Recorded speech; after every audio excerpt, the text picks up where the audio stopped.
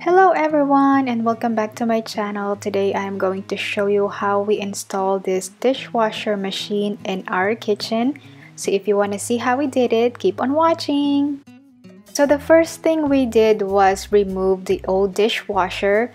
It happened so fast I didn't even have the chance to grab the camera. So it was a pretty easy thing to do.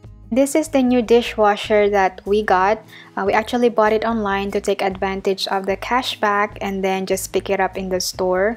So it worked really well. And I'm super excited about this dishwasher because I've been wanting this in forever. This is like the really quiet dishwasher. By the way, the reason why the dishwasher looked wet was because we got rained on on the way home.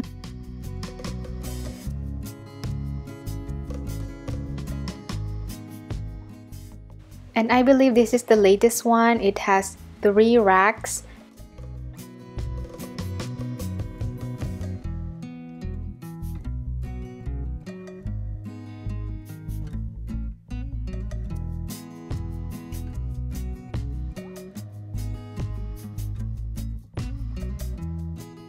These are the old hose and drainage thingy that we need to replace.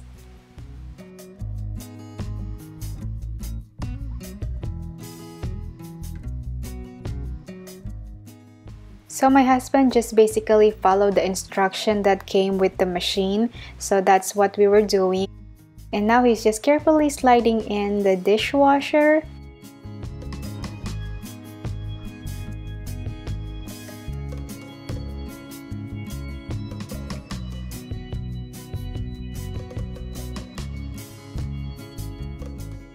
It doesn't fit really well, so he ended up taking out the dishwasher you're just going to carve off this piece right here so the dishwasher can slide in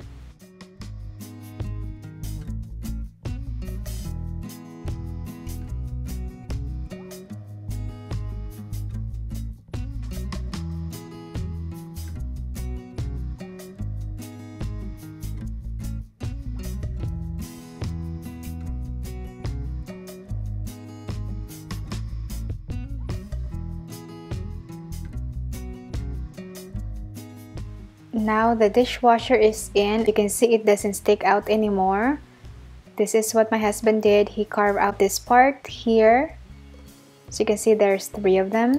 This is actually really really quiet. You will not even know that it is on. Last thing is you're just going to secure the dishwasher and we're done. So that's it you guys and I hope you find this video helpful. If you are thinking of getting a new dishwasher, I will highly recommend this one. Next video will be my kitchen cleaning routine. So if you wanna see that, subscribe to my channel.